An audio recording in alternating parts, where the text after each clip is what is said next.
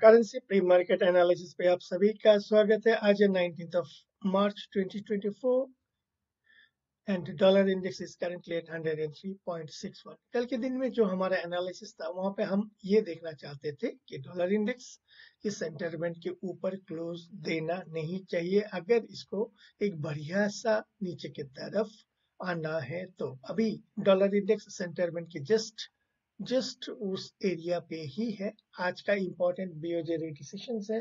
उसके बाद कल के दिन में एफ़ रेट डिसीशन फेड का देन थर्सडे को आपका यूके का बीओई रेट डिसीशन सो काफ़ी important rate decisions are piled up here so ये हफ़्ते ज़बरदस्त डेटा ड्रिवन होने वाला है। सो करेंसी पेयर्स में काफ़ी अच्छा खासा एक्टिविटीज़ का एक्सपेक्टेशंस तो अभी हमें देखना है आपका आज का बीओजे का रेट डिसीज़न उसके बाद subsequently a one by one हम देखेंगे। सो so, यहाँ पे जो इम्पोर्टेंट रेजिस्टेंस जोन है hundred and three point five zero six zero so क्या डॉलर इंडेक्स इसके ऊपर सस्टेन करते हैं या यहाँ से रेजिस्टेंस लेके आते हैं, ये हमें देखना पड़ेगा। अभी आते हैं जीबीपी डॉलर जीबीपी डॉलर में ये सेंटरमेंट को नीचे की तरफ़ ब्रेक डाउन करना नहीं चाहिए। अगर इसको एक बढ़िया सा ऊपर की तरफ़ अपमूव करना है तो अभी सेंटरमेंट के जस्ट उस जोन पे ही रुके हुए हैं। अभी देखना है आज, कल, परसों, ये बैक टू बैक कैसे बिहेव करते हैं। जीबीपी आईएनएस सिमिलरली इस इंटरवेंट के नीचे जाना नहीं चाहिए। और ऑलमोस्ट उसके वो थोड़ा सा ऊपर GBP I N INS sustain कर रहे हैं। Then is coming to our euro dollar euro dollar INS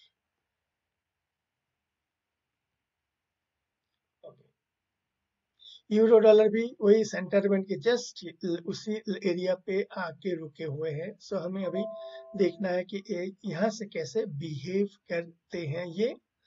Then is coming your euro INR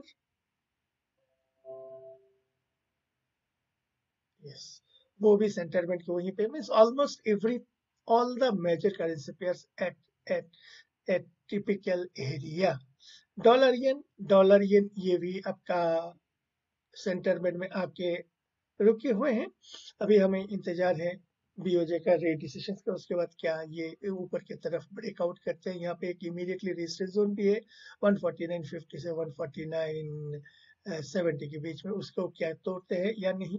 N INR में ये सपोर्ट लेवल को नीचे की तरफ़ तोड़ते हैं या यहाँ से बाउंस बैक करते हैं। Means all the currency pairs, be it dollar index, GBP dollar, GBP INR, euro dollar, euro INR, dollar yen, yen INR, all in similar features. जो भी होगा एक ही टेंडेम में होगा।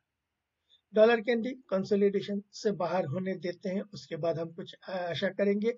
और डॉलर में ये सेंटरमेंट को स्लाइटली ब्रेक करके नीचे गया हुआ है।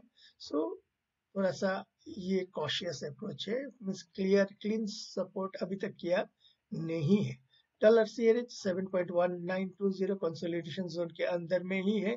ब्रेंड क्रूड जो फ्यूचर कैश चार्ट है, काफ़ी ऊपर है eighty six point one eight ये जो इमीडिएट रेजिस्टेंस जोन का तोड़ फोड़ के ऊपर चला गया था अच्छा खासा रैली दिया है। अभी देखना है, एक पुल बैक के बाद क्या ये फिर दोबारा इस स्टेप का एक बाउंस बैक करते हैं।